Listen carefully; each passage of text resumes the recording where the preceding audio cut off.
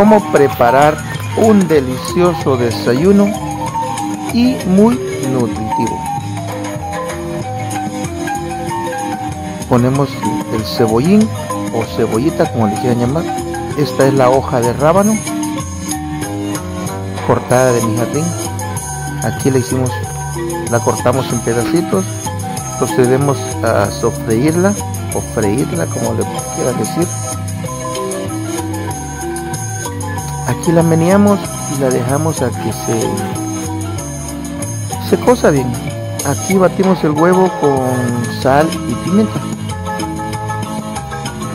Procedemos a echarle pimienta a la hoja de rábano, un poquito de saborín, un poquito de chile si te gusta picoso y sal al gusto. Pueden ver cómo nos quedó el delicioso platillo.